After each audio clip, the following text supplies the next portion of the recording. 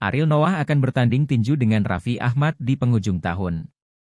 Pertandingan ini rencananya akan digelar pada Desember 2023.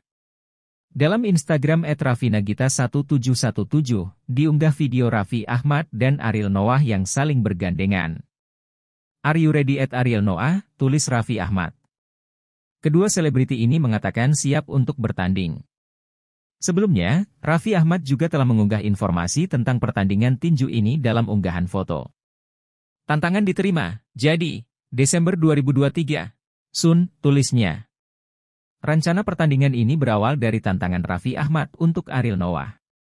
Saat itu, Raffi Ahmad baru saja menjadi MC pertandingan tinju Jeffrey Nicole versus El Rumi. Ia lalu menantang Ariel Noah untuk tinju melawan dirinya. Jadi ya, Desember 2023, ready to rumble! Download Tribun X sekarang.